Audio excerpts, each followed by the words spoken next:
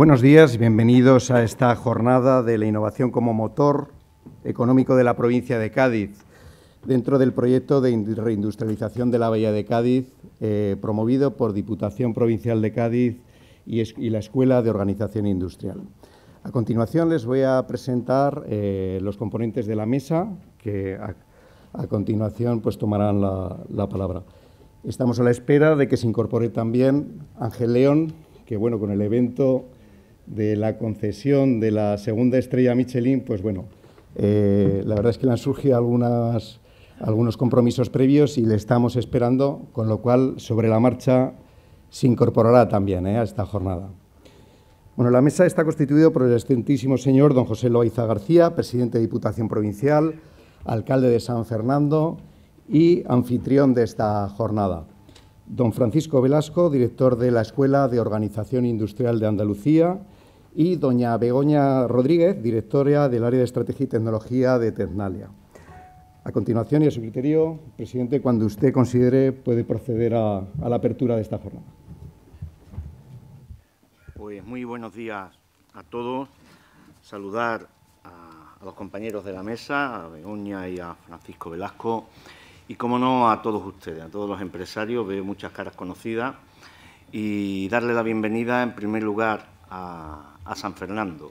Yo siempre digo, tengo que vender la provincia, pero también vendo mi pueblo. San Fernando es una ciudad muy acogedora y San Fernando tiene todo lo que ustedes quieran. Pueden encontrarlo en San Fernando, así que disfruten también cuando terminen la jornada de esta ciudad. Y, la presentación de estas jornadas, para mí la verdad es que, que con independencia de los resultados que luego se obtienen en, en cada proyecto, sí hay que evaluarlo, y eso es algo que nos pusimos en, en, el IEDT, en el Instituto de Empleo y Desarrollo Tecnológico de la provincia, que es quien lleva este programa junto con la EOI, nos pusimos en realizar programas, en cambiar la estrategia de diputación en cuanto a, políticas de emprendimiento, políticas empresariales, políticas de apoyo a la búsqueda de empleo. Y hay que evaluar. Y en eso estaremos evaluando todo, el, y estamos evaluando de manera permanente eh, este marco estratégico. Por eso digo que con independencia de esa evaluación que tendremos que hacer al final de este programa, lo que está claro es que estamos empezando a dar los primeros pasos de lo que se pretendía, lo que se pretendía al poner en marcha, junto con la EOI, este, este proyecto, este programa de reactivación y puesta en valor de las salinas, de esteros, incluso de todo lo que significa pues, esos productos del mar en Cádiz. Cuando nosotros llegamos a Diputación, eh, nada más empezar, teníamos claro, eh, un, teníamos claro un objetivo. Eran las tres líneas por las que Diputación tenía que andar. Tenía que andar con la asistencia a municipio, es obligación la asistencia total a los municipios de menos de 20.000 habitantes, hasta 50.000 habitantes prestamos muchísimos servicios y luego a las ciudades grandes aquello que nos piden. Y ese es el objetivo principal de vida de las diputaciones y en eso estamos trabajando, incluso mejorando todo el tema de servicios, asistencia técnica, jurídica, económica a muchos municipios que hoy con toda la normativa que ha ido cambiando en estos dos últimos años de reforma, son necesarias para el control de las administraciones públicas. La segunda línea fue en algo que no tiene competencia la Diputación, pero que en la situación tan delicada en que cogimos el Gobierno hace tres años y algo, nos obligaba a seguir trabajando, que eran las prestaciones sociales. Diputación no tiene competencia en política social, a excepción solo de evaluación de servicios sociales comunitarios, pero el inicio, el básico, de evaluar y luego llevar a la Administración competente, que en este caso es la Junta de Andalucía. Eso no se hace así, sino muy al contrario. Es la Diputación la que presta servicio directo, donde nos gastamos quizá la mayor parte de nuestro presupuesto sin ser competencias propias, pero teníamos claro que hasta que no se aclararan el tema de las competencias y sobre todo hasta que no mejore la situación económica de la provincia, nosotros no podíamos hacer dejación de ese tipo de política, y era el mantenimiento, de las mantenimiento y mejora de las políticas sociales. Y la tercera línea en algo que tampoco tiene la Diputación competencia, y es en empleo. Las competencias en empleo, los trabajos en empleo son de la Junta de Andalucía, quien tiene competencias exclusivas en empleo y políticas activas de empleo, y en todo caso lo se tiene que complementar con una parte muy importante, que es la política económica que tiene que marcar el Gobierno de la Nación. Pero Diputación no tiene competencias en empleo, y cada día más pues, se nos restringe esa, esa línea, ¿no? porque la ley de racionalización deja muy claras las competencias. pero sí teníamos claro que toda la política transversal de Diputación tenía que ir dirigida a la mayor lacra que tiene esta provincia, que es la búsqueda de empleo. Y Diputación también tiene otra cosa muy clara, y la tiene este presidente y la tiene este alcalde. Y siempre lo digo, el gran error muchas veces de nuestras administraciones ha sido la de crear empleo, porque se piensa que creando empleo público mejorábamos. ¿no? Hemos mejorado hasta que la crisis ha llegado y nos ha destrozado a todas las administraciones precisamente pues tengo que decir, con ayuntamientos sobredimensionados, con administraciones sobredimensionadas, con una administración paralela que está desbordada y nos hemos tenido que poner a la fuerza a reorganizar la administración pública. Y está claro, y lo digo, porque una administración pública no está para crear empleo, está para gestionar las competencias, está para gestionar, optimizar los recursos humanos que tiene que tener. El empleo lo crean los empresarios. Y siempre lo digo, la Administración Pública tiene que poner las bases y las líneas y el apoyo para generar empleo y la generación de empleo la tienen que hacer los empresarios. Y además tenemos una provincia donde, a pesar de una gran industria en el campo de Gibraltar y de una gran industria en la bahía de Cádiz, la naval, la aeronáutica, que está sufriendo los efectos también de esta situación delicada, está basada, pues según los datos donde uno tire, entre un 80 y un 95% en el pequeño y mediano empresario y en el autónomo. Y ahí Diputación sí teníamos la obligación de hacer algo. Y nos hicimos, nos preparamos un marco estratégico eh, apoyado con fondos propios de la Diputación y con fondos propios de, y con fondos europeos, apoyado también como con entidades como la Escuela de Organización Industrial para ayudar al empresariado, al empresariado eh, gaditano. Y en este sentido hemos puesto muchísimos proyectos en marcha dentro de ese marco estratégico y uno, por ejemplo, el plan de apoyo al autónomo, Hemos establecido cinco líneas de actuación con, la EOI, cinco programas con la EOI, uno de ellos este, y lo que queremos es que esa pequeña y mediana empresa tenga capacidad para salir, tenga capacidad para generar empleo, tenga capacidad para innovar, tenga capacidad para ser más competitivo. Y ahí es donde está la Diputación y ahí va a estar mientras que yo sea presidente, porque creemos en el empresariado, creemos en la calidad del empresario gaditano y lo ha demostrado, y lo ha demostrado. Lo que necesitamos es apoyo, a lo mejor de otro tipo, de algunas administraciones que son poco sensibles con esta manera de pensar, son más sensibles en otras.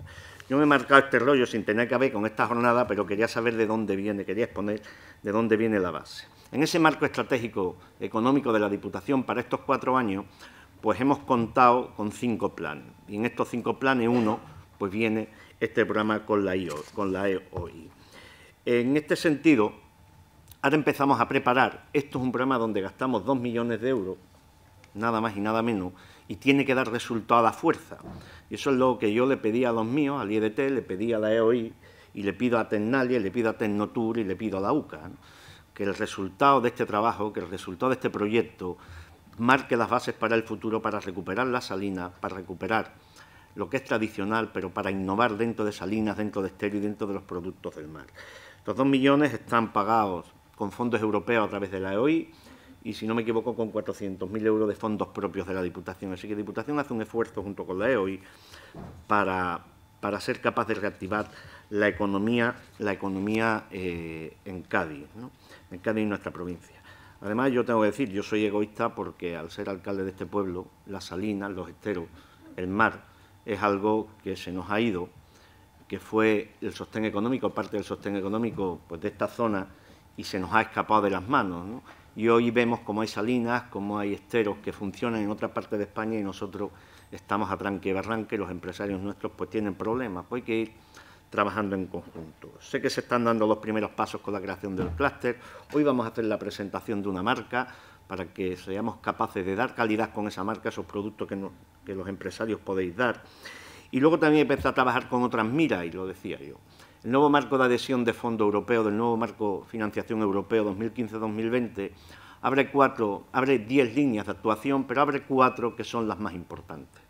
Entre ellas la medioambiental, la eficiencia energética, pero abre, abre una muy importante donde tenemos que estar los que estamos aquí muy pendientes.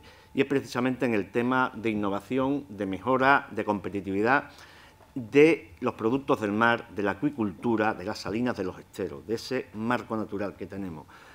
Esto tiene que servir de base para empezar a crear emprendimientos, para mejorar a las empresas que tenemos a funcionar, para meternos en el mercado de verdad, para buscar mercado, pero también para empezar a buscar fondos con ese paternariado público-privado entre las administraciones, entre la EOI, entre Tecnalia, entre la universidad, entre Tecnotur, los empresarios privados, porque la Unión Europea cambia su nuevo marco de financiación y obliga a proyectos competitivos, con concurrencia competitiva, y obliga a paternariado público-privado. Hoy hay que pedir fondos llevando muchos socios. La Diputación está acostumbrada a eso.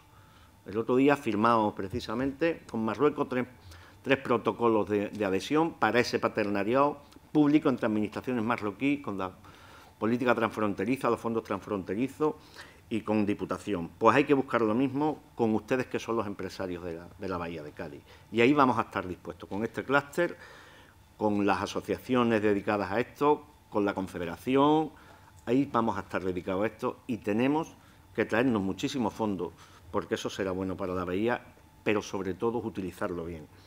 Yo con esto he terminado y me he marcado mi rollo, yo le pido a ustedes disculpas, pero creo que es bueno saber por dónde andamos, saber de dónde venimos y a dónde tenemos que llegar.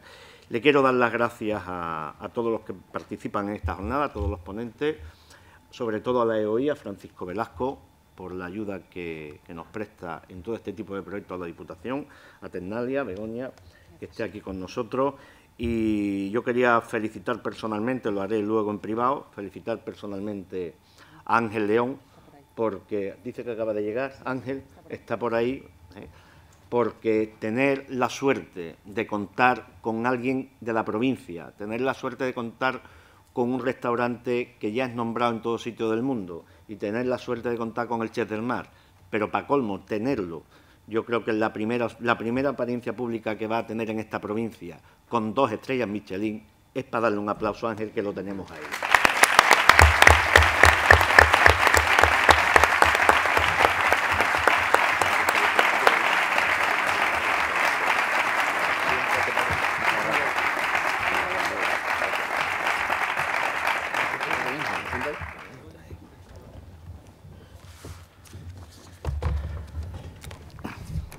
Pues muchas gracias, señor presidente. Y ya con la incorporación de Ángel León a la mesa, pues continuamos.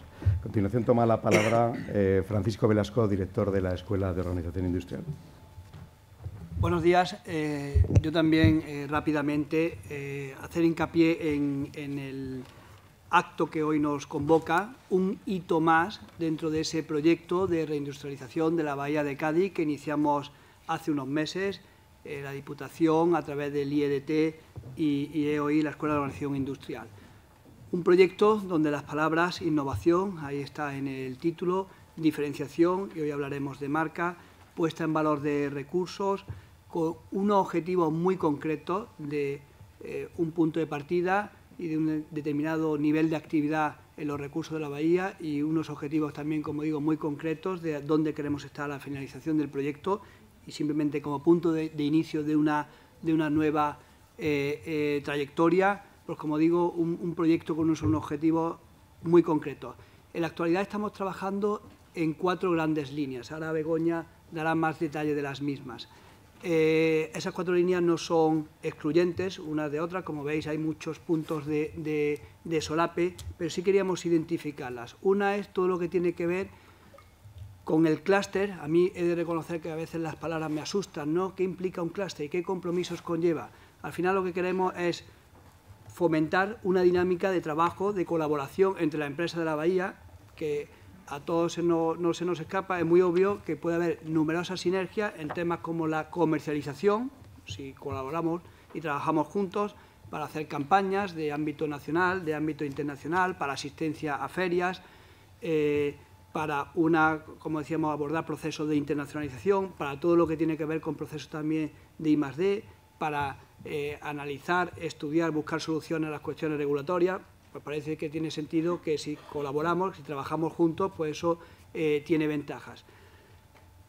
Tengo que decir que en cualquier clúster, en cualquier asociación, la otra parte de, la otra cara de la moneda, la, parte la otra parte de la balanza, son los costes eh, asociados a, a esa pertenencia al clúster. Pero la buena noticia es que con este proyecto, durante los eh, cuatro o seis primeros meses de vida del clúster, todos esos costes están cubiertos por este proyecto. Por tanto, solo puede haber ventajas, solo puede haber beneficios y no hay ningún inconveniente.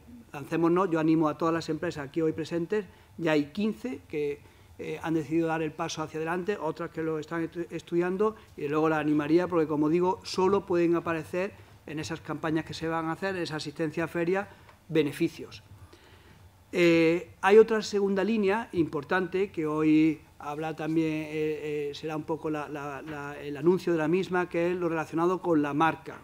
hemos hablado de diferenciación, absolutamente imprescindible en los mercados en los que nos movemos, y como decimos, pensamos que apoya bastante bien todo lo que tiene que ver con la comercialización de los productos de la bahía. Eh, una tercera línea de trabajo es el ayudar a apoyar al lanzamiento de nuevos proyectos empresariales. Se viene trabajando también durante unos meses, ya hay identificado una serie de proyectos con los que se está trabajando, tratando de eh, acelerar su puesta en marcha, trabajando también los temas de financiación de los mismos, etcétera. Y una cuarta línea que no he de ocultar su complejidad, pero todo es empezar, todo es sentar las bases y poner los fundamentos, que era de atracción de inversiones industriales a la, bahía. Eh, no puedo dejar de hacer mención, ha hecho alguna referencia el presidente a la financiación de este programa, que es gratuito para los beneficiarios. Como decíamos, está sostenido los costes por el FEDER, el Fondo Tecnológico, y por la Diputación de Cádiz a través del IRT. Sí decir que en un esfuerzo de eficiencia vamos a intentar, y estamos trabajando en ello, en el que el coste total del proyecto sea inferior a esa cifra inicial y, como digo, un esfuerzo que yo creo que, es el que tenemos que hacer todos, eh, las instituciones, las empresas, digo, eh, en el momento actual. Y, para finalizar, no, puedo, no, podría ser de otra forma que dar la enhorabuena eh, a Ángel eh, por esa segunda estrella eh, Michelin. Nos costó un poco de trabajo, le comenté, cuando hablamos con la guía la primera vez y le decíamos que tú tenías que venir aquí con dos estrellas. Ya cuando te conocieron, eh, lo, que, lo que hay que anunciar es que han estado a punto de darte la tercera. Y, como decíamos, la enhorabuena por, por, por esa segunda estrella, por lo que representa de éxito, pero yo pondría más en valor aún todas las facetas de Ángel como investigador, como innovador, como, como persona que está apostando eh, por una diferenciación, como decimos, con una eh, apuesta por el valor eh, y, por tanto, por su faceta, antes que nada, antes incluso que la de chef, Ángel, si me lo permite, de empresario. es, el momento de, es el momento de visión y de luego de gestión, de acompañar esa visión con la gestión de los negocios. Es el momento de la estrategia pero también de la ejecución estratégica, de ejecutar esa estrategia que, hemos eh, planteado y yo creo que Ángel lo está representando y si encima tienes éxito, pues ya como aquello de jugar al poke y ganar, no debe ser la leche. Eh, y sí aprovecho también para dar la enhorabuena, además de Ángel, a todos los empresarios que estáis aquí. Yo, eh, siempre vamos a poner de la Escuela de Evaluación Industrial en valor ese pequeño empresario, a veces anónimo, eh, en muchas ocasiones que todas las mañanas levanta la persiana y, le da a los pedales de la bicicleta y genera riqueza, genera empleo y por él y para él estamos hoy aquí todos. Muy buenos días.